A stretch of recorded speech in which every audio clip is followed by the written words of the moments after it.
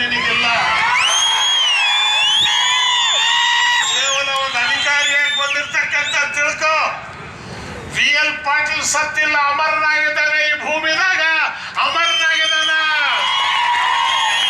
ಅವ್ರು ಮಾಡಿರ್ತಕ್ಕಂಥ ಕೆಲಸ ತುಂಬ ಸಭೆ ಈ ಪಕ್ಷದ ಅಧ್ಯಕ್ಷನಾಗಿ ಹೇಳಂತೀನಿ